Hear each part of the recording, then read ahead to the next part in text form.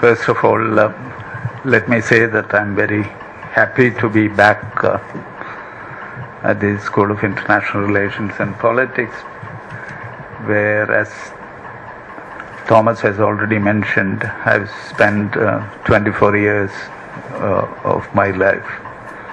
A very important part of one's life, actually. And I should thank uh, C.T. Thomas and all the faculty members for giving me this opportunity again. Um,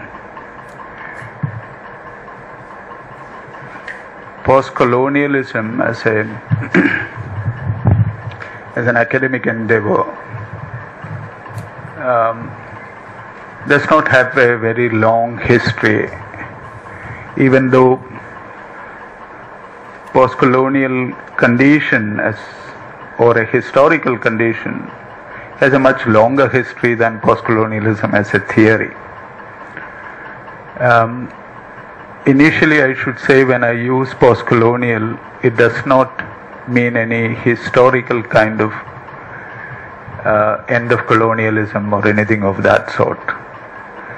And in many cases, as you know, colonialism has not ended uh, in any meaningful sense. Uh, what is important in post colonial theory is the concern towards a particular kind of decolonization. Decolonization of the mind, as they say, decolonization of knowledge, decolonization in the realm of culture, in the realm of values, people's own attachments and ideas. So, decolonizing the realm of ideas, knowledge, culture, decolonization of the mind in general is the concern of post colonial theory. Not particularly about the political and economic processes of decolonization. um, there is a difference, as you know. And post colonial theories, as they developed, say from the 1990s onwards, uh, in that name, uh, has, as I've mentioned last time also when I talked about this topic here, post colonial theory of the 90s have two major antecedents it originates from two major tendencies, both historical and conceptual tendencies earlier. One was the actual intellectual contributions of anti colonial intellectuals, anti colonial struggles and movements what was the intellectual contribution of those movements and intellectuals. This is one set of ideas that post colonial theorists have inherited in a manner. Particularly the ideas of Frantz Fanon, who was part of the Algerian and African national liberation movement, theorized a whole lot on. Uh, on race, on nation, on gender, and so on and so forth. So, that kind of intellectual contributions of people involved in anti colonial struggles, particularly the, the tradition of Frantz Fanon, etc., was one source of inspiration for post colonial theory to emerge, say, in the 1990s or maybe late 1980s to that the other source of inspiration for post colonial theory to emerge was postmodernism, um, which was a major intellectual tendency, say, from the 1970s onwards. Then it was known as post structuralism, basically, Foucault and others. Um, why was post structuralism or postmodernism important for post colonial thinking the major aspect of interest was the critique of modernity in postmodernism. Critique of modernity in the sense that colonialism itself was a modern project. It was emanating from Europe at a time when Europe was undergoing the whole, you know, trajectories of enlightenment. Europe was advancing in science, in philosophy, in a number of human sciences and areas. Europe was progressing in political theory, as you know. And philosophers like Immanuel Kant was talking about humanity emerging out of its self imposed adolescence and becoming uh, mature, uh, becoming somebody who could stand on their own legs, not dependent upon anybody else. Anybody else previously was God, isn't it? That theocentrism of the medieval era was transforming into a kind of anthropocentrism, human centeredness within modernity. So there was great hope in Europe, as expressed by Kant himself, who was part and parcel of that European Enlightenment. And you had Hegel, Marx, innumerable thinkers. And it was the very same Europe in the very same period producing enormous, you know, corpus of resources and technologies of colonialism. And so enlightened Europe becoming extremely colonial. And therefore, a critique of European modernity was very significant for post colonial thinkers as well, as it was an important element of postmodern thinking. So, postmodernism had something to offer to postcolonialists. So, you have certain traditions of anti colonial struggles and intellectual traditions within the so called third world. It's mentioned as third world at that time. That was one major source because much of this post-colonial thinking was supposed to be about the so-called third world. And on the other side, the dominant effect of modernity, its colonial project on this supposedly third world entity was also very important. So, looking at the whole colonial enterprise from the standpoint of those who are subjected to colonialism is the most important thing.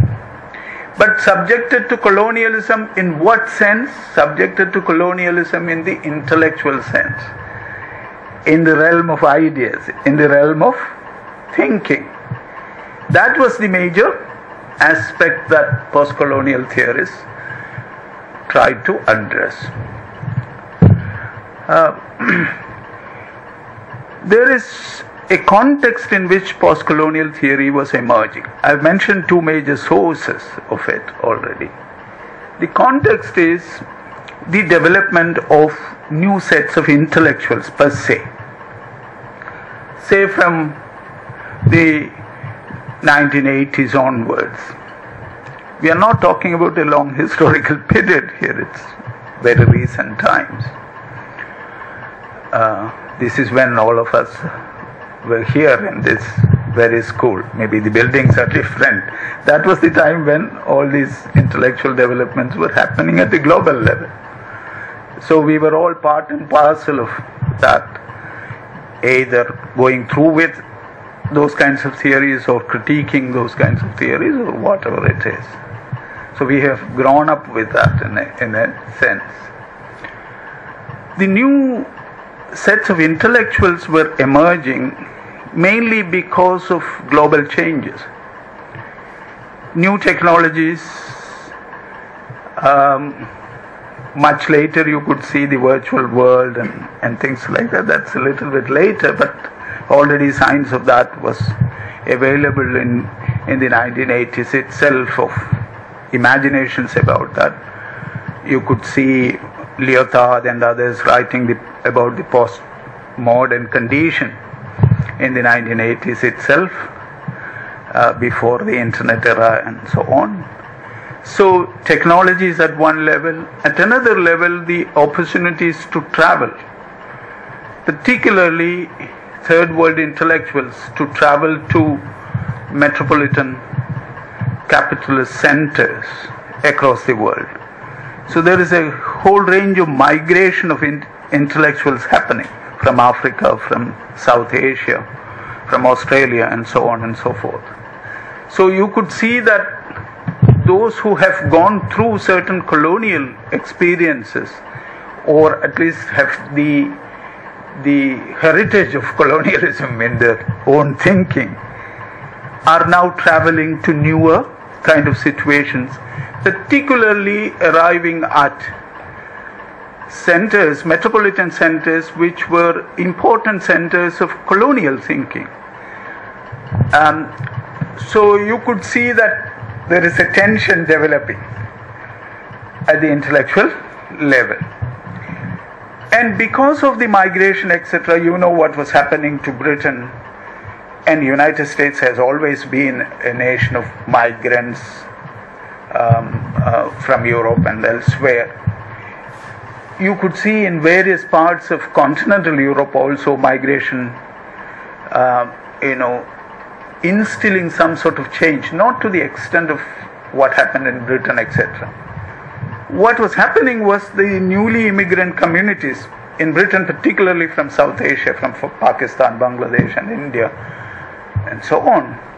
You could see that the intellectuals among them had to confront situations of hierarchies within the European context. The ways of thinking, questions of race, and newer kinds of arrangements of things, and the implications of a colonial mentality there on the very survival of persons who are newly immigrant people, who are newly immigrant communities per se within those kinds of contexts.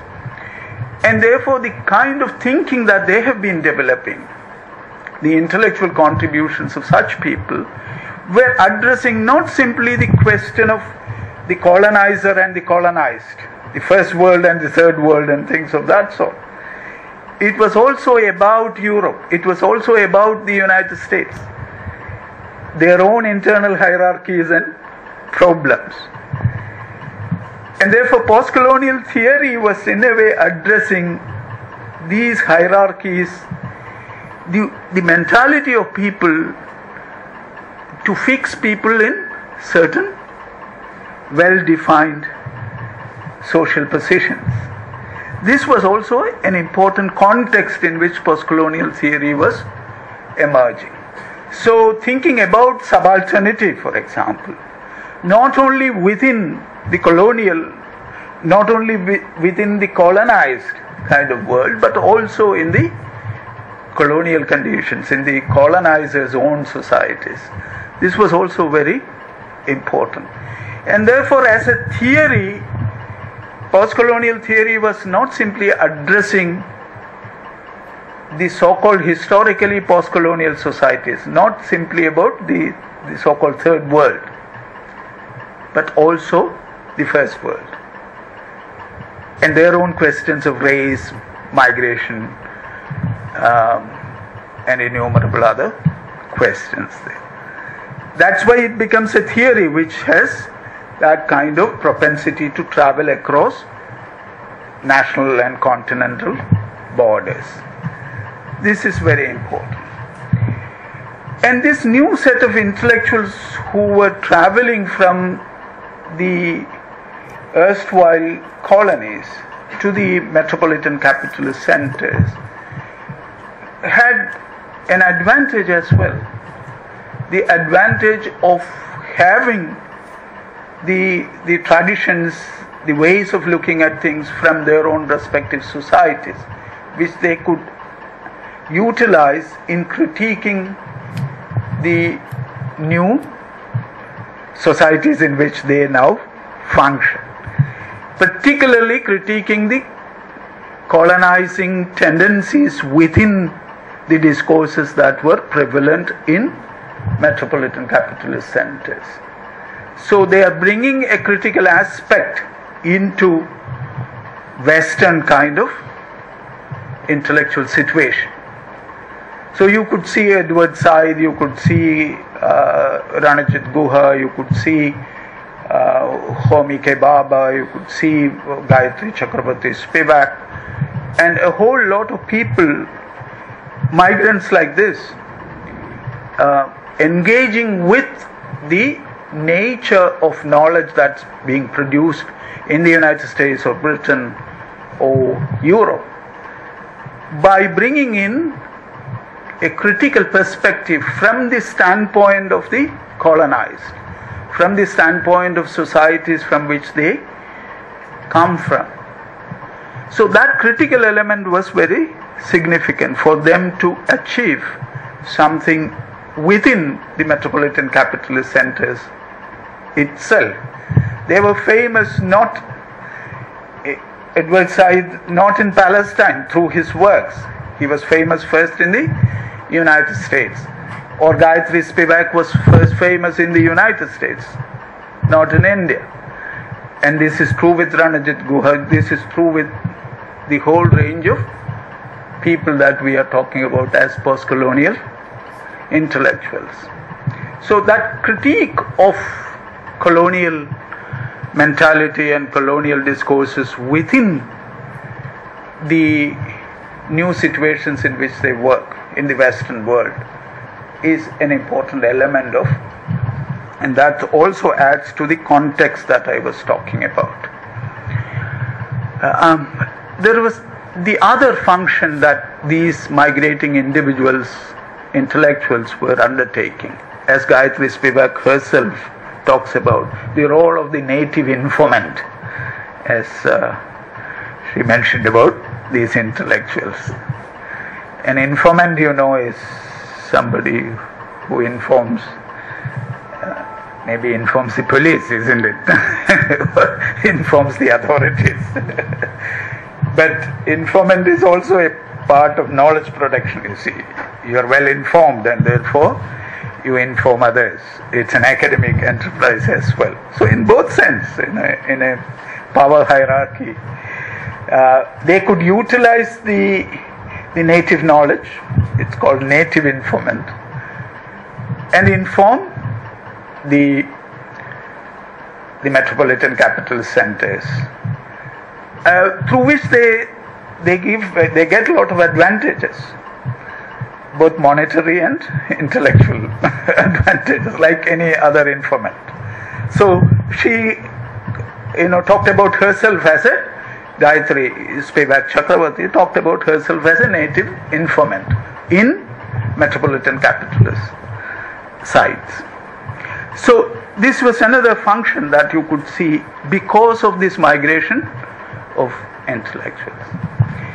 What is extremely important for a variety of disciplines, as far as postcolonial theory is concerned, is the the multiplicity of identities that these intellectuals possessed. These are new kinds of intellectuals because they come from particular social backgrounds, as I've already, with political traditions which are very different cultural traditions, linguistic traditions, which are very different from the capitalist centers in which they work. And much of uh, the United States, if, if you take the university system, etc., it's mostly monolingual. These are people who come from uh, with abilities of multiple languages and things of that sort. Uh, very brilliant people with great resources. So you could see a Gayatri Spivak uh, or Gayatri Chakravorty at that time traveling from um, India with her uh, Bengali and Sanskrit and English, obviously, from Calcutta. Then going to the United States, translating Jacques Derrida's book in French to English, writing that long introduction which made her very famous in her 20s. She was like you at that time when she became uh, you you have to salute uh, her courage, you know, to to pick up Derrida, who was very famous at that time, and translate that from French to English, not to Bengali or Sanskrit or anything of that sort. You could see her speaking German as usual. You don't know how many languages these people converse with and are very, very easy with. And they write like that, and they write in Bengali, they write in most of these languages. Uh, so these are intellectuals with that kind of uh, abilities that one is talking about, and therefore, when they write, they get things from all these cultural kind of milieus and when that is in a way intellectually translated into the English context, it becomes very difficult for the ordinary, even the intellectual reader of the English language. These are tough texts. So if you read Gayatri Spivak's book, The Critique of Postcolonial Reason, for example, you may be looking at something about the third world or something of that sort. It was mostly about Kant, about Marx, about things of that sort. Uh, what is post-colonial in that? Because that the critique of the colonial enterprise from the way it, it emanated in those metropolitan capitalist centers was the major kind of thrust of that kind of work. And it was written at a time when post-colonial theory was supposed to be about the colonized people, about the so-called third world. That was an attempt at uh, that was published in the late 1990s. Actually, um, we had a reading group in Lewisburg, 1999. That was when the book was published, Gayatri's a post-colonial reading group actually in the at Bucknell University. And I could see all these English literature, philosophy, women's studies professors struggling with this text. Um, for me, it was not that difficult, even though it's English is a little bit difficult.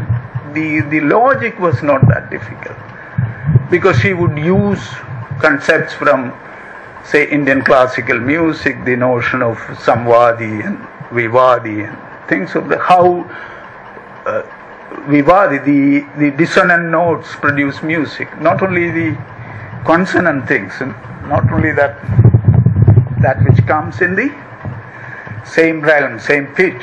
You could have diversity as an element of creating some kind of meaning. That is possible. That that's simple for us to understand because we have another way of looking at things and that is possible. And that's precisely what they have contributed to uh, the the Western world in their intellectual milieu, and that's why they became very famous in that sense. Uh, she was also, you know, personally told me, I've met her several times actually.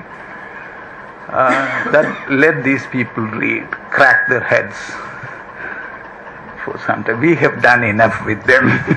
this has been our job, you know, for all. Now let them do the other way. Let us make them, let us give them some headache. This was a personal opinion, you know, in personal conversation. So that is also there to make it much more tougher to to read. Uh, so don't reveal anything so easily. I was just talking about the nature of indi- intellectuals who were traveling and the context in which post-colonial theory was evolving. This was also a period with postmodernism already in place. Feminist theories have already been very well established, particularly from the 1950s, 1940s onwards with Simone de Beauvoir's work, and in the 1960s, the whole range of movements um, across different parts of the world. You, uh, you could see that there is an alternate notion of power, alternate notions of the linkage between the colonizer and the colonized emerging. And Frantz Fanon's work, which I've already mentioned in the 1960s, adding to these kinds of complexities with the question of race and nation being strongly addressed. And this is precisely why these alternate theoretical kind of universe was informing and shaping various kinds of disciplines at one stroke. Traditionally, academic theories are produced within particular disciplines, is it? You have political science theories, you have sociological theories. So when you say a Durkheim or a Weber, it's supposed to be sociologists. So when you say Levi Strauss, it's an anthropologist. And things of that sort.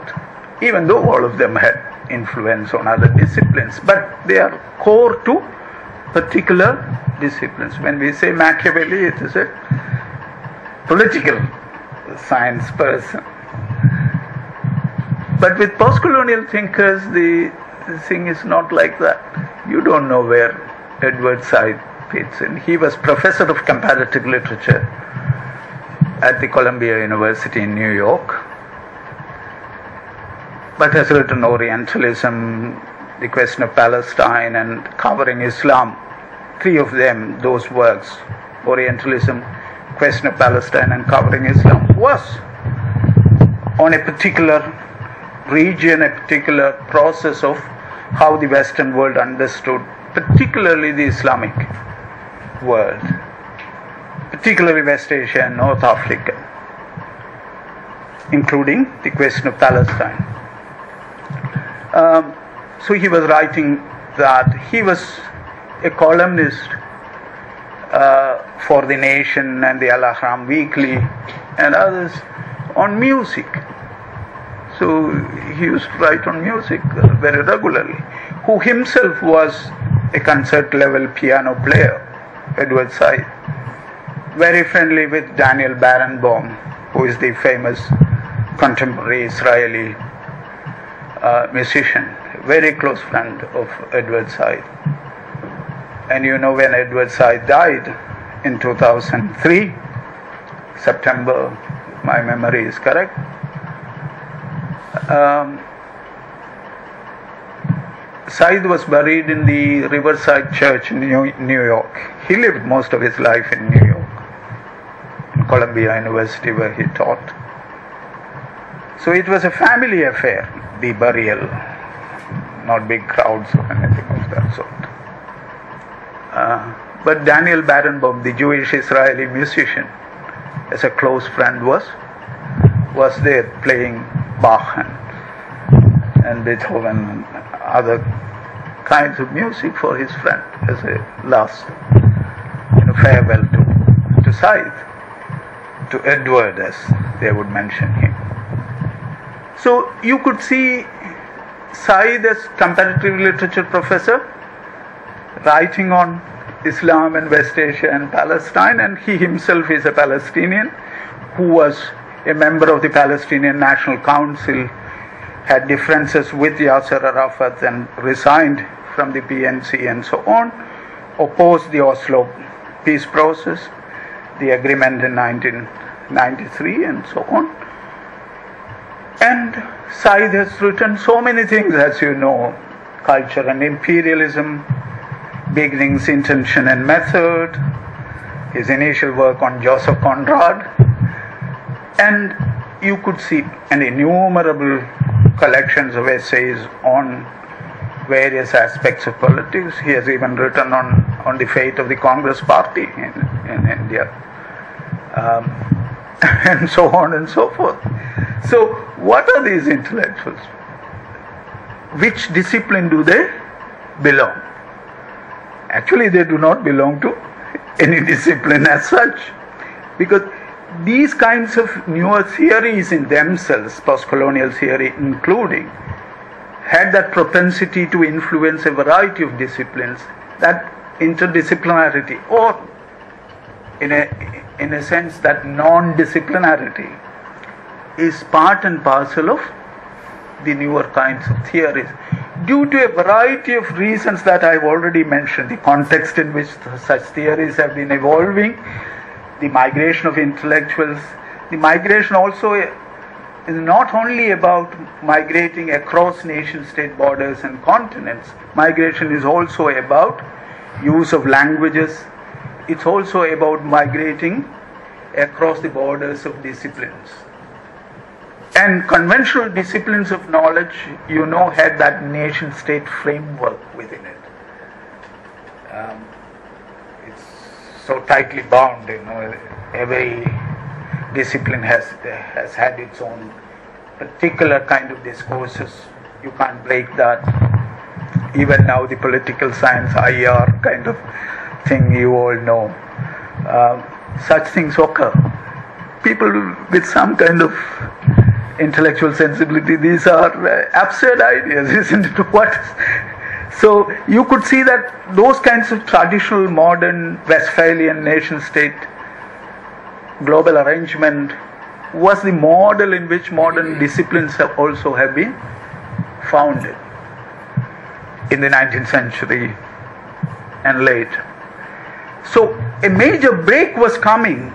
It came in the early 20th century when you had the Frankfurt School, you had Gramsci, and others who influenced a variety of disciplines. Gramsci, for example, education, sociology, political science, uh, culture, and, and things of that sort.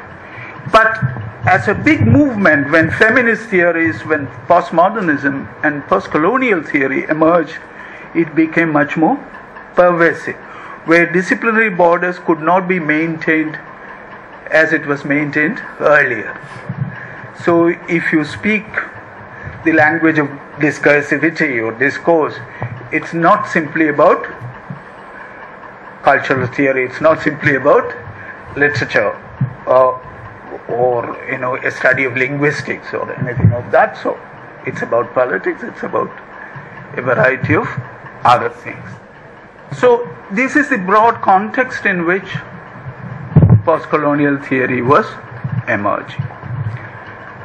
What is the crux of postcolonial theory actually? What are they doing? They are searching for colonial tendencies within the existing realm of knowledge. I've told you the whole project is decolonizing knowledge, decolonizing the intellectual sphere. Why is that decolonization needed?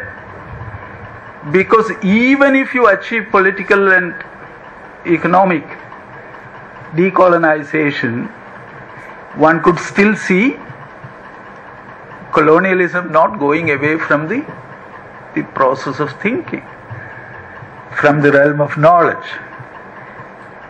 And therefore, decolonization of knowledge is required. And in order to decolonize, one has to find out how colonialism works in the field of knowledge. So the initial search is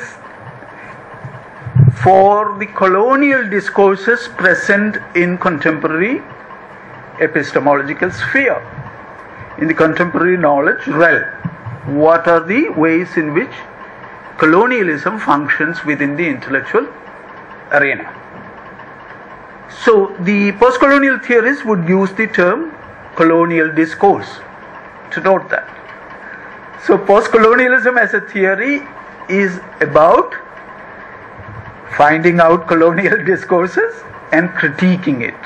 So a critique of colonial discourse is what a post-colonial theorist is actually doing. Said's book, Orientalism, was a classic text in this uh, kind of an endeavor. Where in Orientalism he has, uh, you know, mapped the ways in which Western perceptions about the Orient, about the East, was developing over a period of time in a colonial manner. It was a whole range of discursive field which is informed by colonialism that you could find the Occident, the West, and the Orient are described. Mostly it's about the Orient, isn't it? How the Western world looked at the East. But by producing that kind of a knowledge realm, what the West was doing is to self define Europe, define themselves. So if you can find out enough of these uncivilized people out there uh, who has to be civilized, etc., then the assumption would be that those who are talking about this are civilized. So the West immediately becomes civilized once they talk about others as uncivilized. This is the easiest way to become civilized. You talk about others, and we always do that. Uh, Rekha issue was, was written on those kinds of discourses in our midst, how we do that. So Europe was suddenly becoming a very civilized place. In spite of what I was telling you, yes, it had its own enlightenment and everything, but its colonial enterprise is suddenly becoming, you know, it can be whitewashed with this newly acquired intellectual kind of position as somebody who has a determining effect, subject position with regard to others who, who are given a kind of object position. Otherness is attributed to the East. So, attributing otherness is a way of self definition. So, it's not simply about others, it's mostly not about others the whole academic enterprise in Europe about Orientalism. You still have in the London University that famous school, isn't it? School of Oriental and African Studies. In Germany, you had from the days of Max Muller onwards.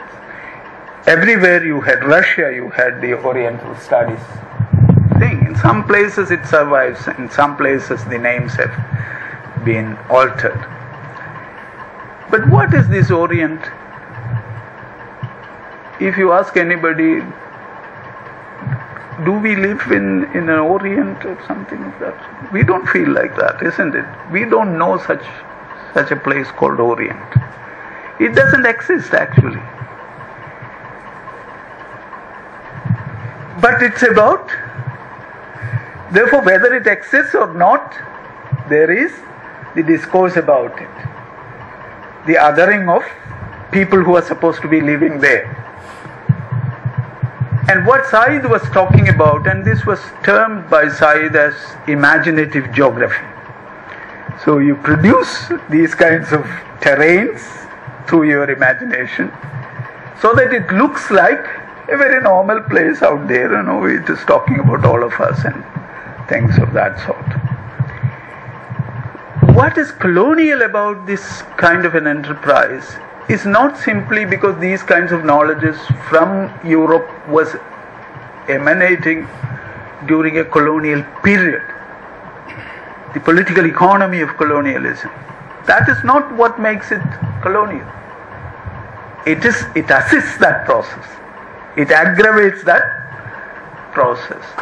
What Said and many others would say and it's also from Foucault in that sense, that it is the field of knowledge which is produced along these lines that informs colonialism itself. It makes colonialism possible as an enterprise. So, even if you are very knowledgeable, you know, we have heard uh, such things. For example, Gyani Zail Singh, who could not speak English very much, he was our president, and nobody remembers him. Now, Gyani is Gnani, you know, who is, and he is supposed to be very foolish because he doesn't speak any English. Uh, so everybody who is not uh, in the way in which civilized people are understood in the colonial context, in, in the European ways of thinking, suddenly becomes a fool who has to be now educated, who has to be civilized, and so on. So that civilizing mission is not only a political economy mission of colonialism, a cultural mission of colonialism, it is also a mission which involves a particular way of positioning both the West and the East. So, the West and the East, even though both are really or imaginatively are inhabited by people, suddenly you will have an, a kind of antithetical imagination, an antithetical evaluation of both the West and the East. They are not the same, they are entirely different. So that difference is produced out of the whole, uh, you know, colonial discursive operations. Actually, the West and the East are products of the colonial discourse of Orientalism, actually. So it's not prior to that. A West and a, an East of this kind will not be there without an Orientalist colonial discourse. It produces those things. So, Edward Said would be talking about several kinds of Orientalisms. That was his Orientalism as a colonial discourse. And I've told you, colonial discourse is at the core of post colonial theory. Orientalism as a colonial discourse, not simply as its institutional forms, etc., as academic disciplines, university departments, and other things in the Western world. On the other side, it is this ontological imagination. Ontological simply means that the idea there exists an East and a West. There exists an East and therefore a West. That is the, the ontological imagination within Orientalism as colonial discourse. For Said, it's also an epistemological thing, and that is at the core. It's about knowledge, as I've told you. It's epistemological in the sense that you are creating knowledge about the Orient. Who are creating? Not the Orient is talked about by not by the people of the so-called Orient. I've told you whether there's an Orient or not. But the Orient is talked about people from the West. So it's a Western way of producing knowledge about the East. Not every kind of knowledge about the East. And that kind of knowledge, what is the characteristic features of this knowledge? In order to analyze that, that characteristics of that knowledge, which is colonial knowledge as far as Said is concerned, it is analyzed through the ideas developed by Michel Foucault, as you know, particularly Foucault's conception of the linkage between knowledge and power. And that's why I've told you the postmodern tendencies have an influence on post-colonial thinking, as you could see. Both the way in which the idea of discourse is used in the colonial discourse, and also this linkage between knowledge and power. This is very important.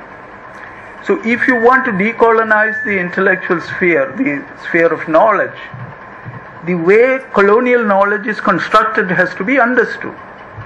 How is it constructed? It is constructed, as Foucault would say, that without the imagination of a field of power, knowledge itself is not possible. And vice versa uh, also is true that without, uh, you know, a the you know a field of knowledge working you cannot produce the effect of power you can do something only when there is a field of knowledge that informs that action. Otherwise, power will not function per se. So, both ways, a field of power is required to produce knowledge, a, a field of knowledge is required to effect power. That kind of linkage is very important to understand Orientalism as a colonial discourse because of the subject position that is ascribed to the West and the object position, the position of the other ascribed to the so called East. And what happens is that because of this subject object dichotomy that is already built into this discourse, what happens is that you have no escape from this position of the object, position of the other. So the Oriental is always the other. It's a kind of perpetual other with no possibility of breaking this discourse and claiming subjectivity.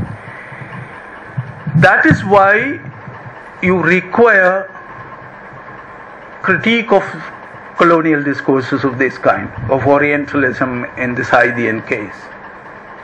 How will you do that? You produce counter hegemonic kind of discourses, counter colonial discourses through alternate kind of theorizing. By not simply positioning the East as subject and the West as object, because that most often can repeat the way the West has looked at the East.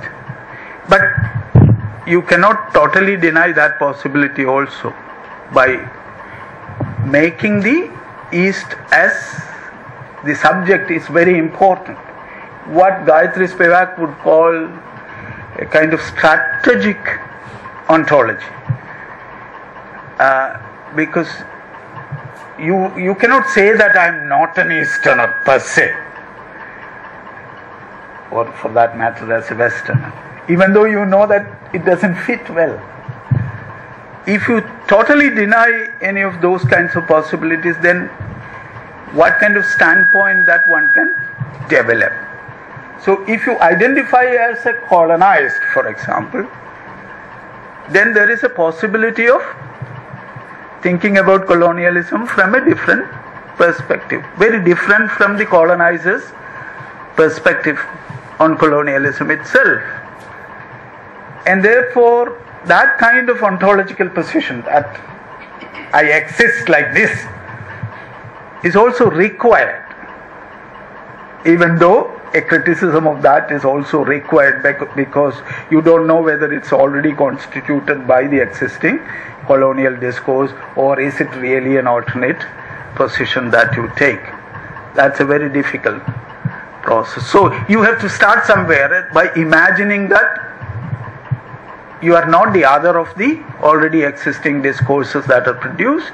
You have to claim your subjectivity, your subjecthood. You are not simply the object or the other. And this kind of claiming subjectivity, this attempt at self determination, is what a decolonization process is all about.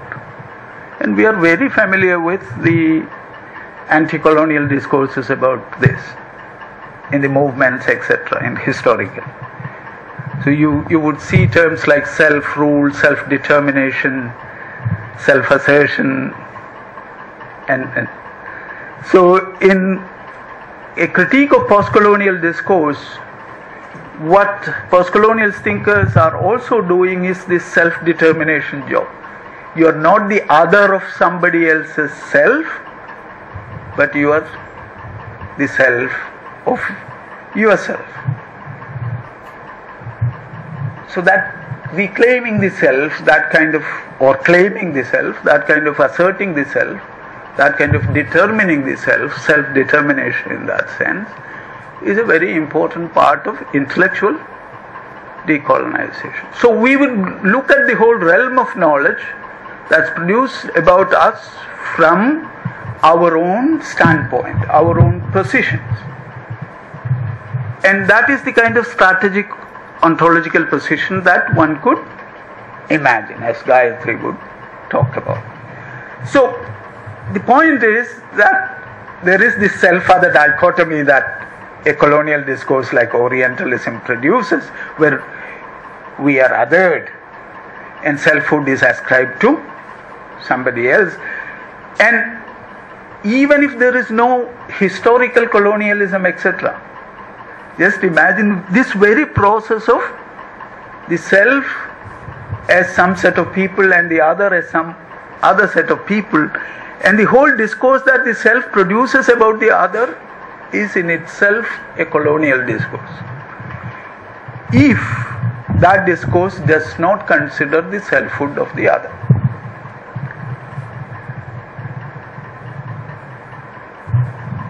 You cannot produce knowledge without a subject and the object, etc.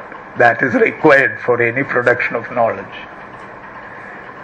But it will not become colonial per se if the selfhood of the other, because we are talking about human societies. It's human or social uh, sciences that we are talking about, where people are our objects, isn't it? Objects of study, objects of theorizing, producing knowledge. And people are with subjectivities. So our object is a pool of subjectivities.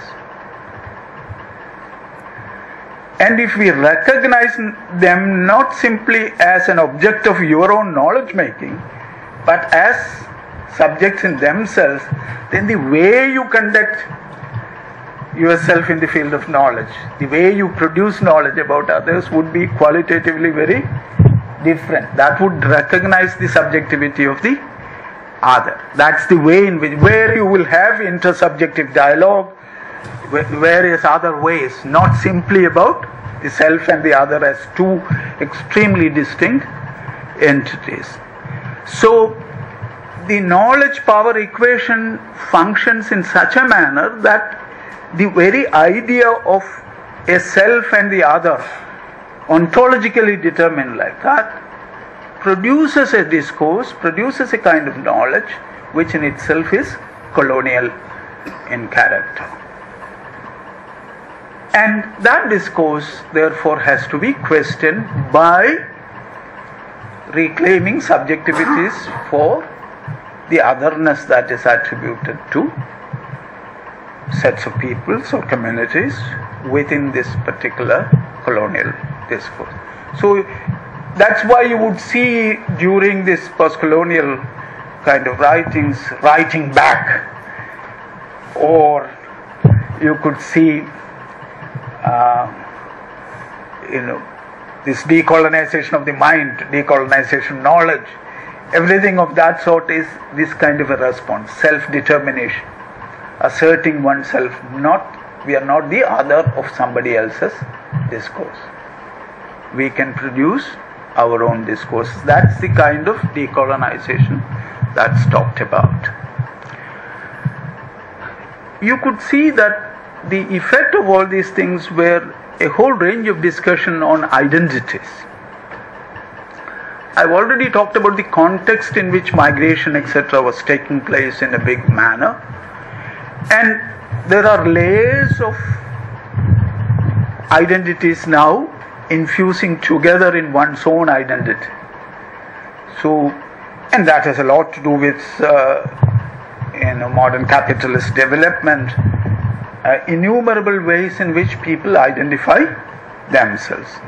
Even though we know in our own particular societies certain identities like caste, religion, and things of that sort are so well entrenched that very many layers of identity is not available to us as in many other parts of the world. But if you compare with historical situations, there are innumerable newer identities that one could imagine for oneself. And this is particularly true about, uh, you know, the process of migration and the new communities that are being formed. So you could see now a, an Assami Malayali now, or a Bengali, a Bihari Malayali now, a Bihari who speaks Malayalam and things of that sort. Earlier we had uh, mostly Keralites speaking Malayalam. people in Mahe also, their mother tongue is also Malayalam. So Keralites and uh, old Pondicherry state spoke Malayalam. Uh, but now you could see North Indian people speaking Malayalam due to migration to Kerala and things of that sort. So levels of identities grow because of that.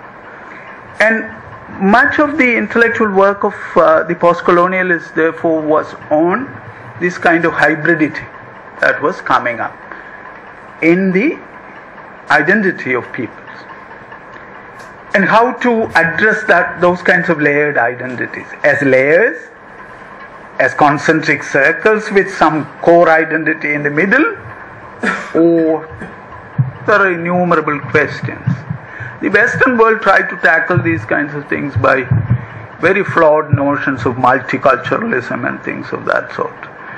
Um, multiculturalism simply means that uh, it's about speaking about non whites in Europe and the United States. So it's another word for racism.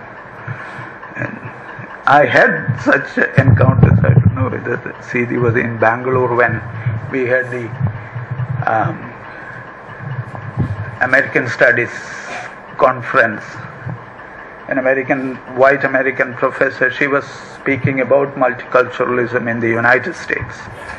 And it was all about the Latinos, the Asians, the Africans, little bit about the black people in the United States. And so after whole thing, I actually asked her a question. I was so furious about it. Are there no whites in the United States? They are more than 80% of the US population, you should remember. but they are not there in their notions of multiculturalism. What the post colonial writers were talking about was the precarious situation in which now they are placed. I've told you about Gayatri Spivak or, or Edward Said anybody for that matter. The layers of identity in, in them, I always talk about this on Said, isn't it? Said as a, a comparative literature professor, a Palestinian, a writer on Islam, on music. Um, and I always say he's such a well dressed uh, gentleman, three piece suit. He goes to class with tie and. Um, but for many others, you know, he is a Palestinian revolutionary, something of that sort. And so he is called sometimes even by the New Yorkers uh, as, a, as a terrorist. So piano playing, three-piece suit wearing university professor, world-renowned intellectual as a terrorist. He doesn't have a gun or anything of that sort. It's not needed because you are a Palestinian. And so, how many identities in one oneself? He's Palestinian, he's Christian, he's and I've told you his friends are Israelis, Jews. For many, how can that happen? And, and so on. So, complexity because of a variety of identities infused in one's own identity. And mostly what intellectuals do, or usual persons do in everyday life, is to strategically use one identity over the other, privilege a particular identity according to situations. Uh, isn't it? So, now if you go to Gujarat, you won't say I am a Muslim, obviously, because that would be uh, disadvantages, to say the least. Or at least you can save your life by asserting that I am a professor or a student or something of that. That identity may work. Sometimes you can't keep those identities uh, separately because the names would say, the, the actions would say, and so on and so forth.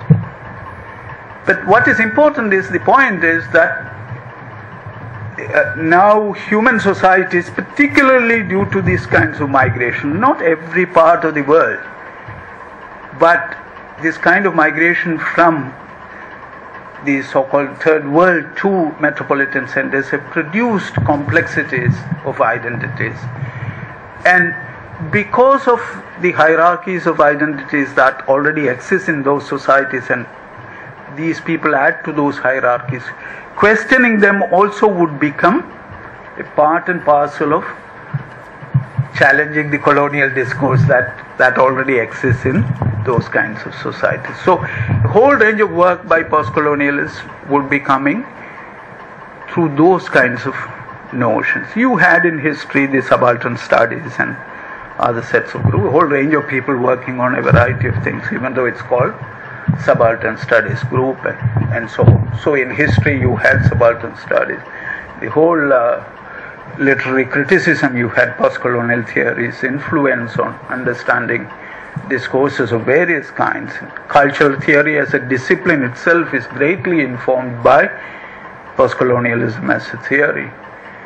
And in political science and international relations and sociology, everywhere we utilize these kinds of things in order to understand the ways in which colonial discourses are produced, our intellectual field could be decolonized by questioning those colonial discourses.